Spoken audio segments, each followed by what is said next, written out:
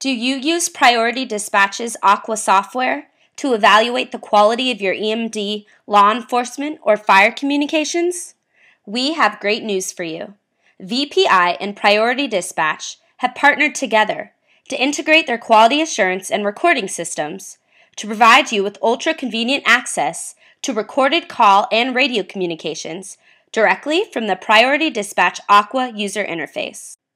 This powerful, unique integration enables public safety organizations of all sizes to cost effectively automate the entire dispatch case review process to greatly reduce the time and resources necessary to perform quality assurance evaluations. To pull up all recordings related to a case from within Aqua, simply log into Aqua and select Case Lists on the left, which is a list of case lists.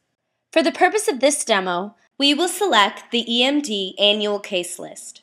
After you select a case, any recorded communications that have been automatically associated with the case show up here, along with a play button.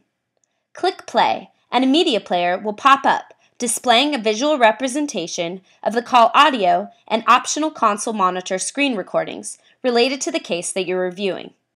Within the visual media player, you can use a variety of playback controls, including play, pause, rewind, fast forward, skip ahead, loop playback, sequential playback, flag, assign for review, and more. It's that easy.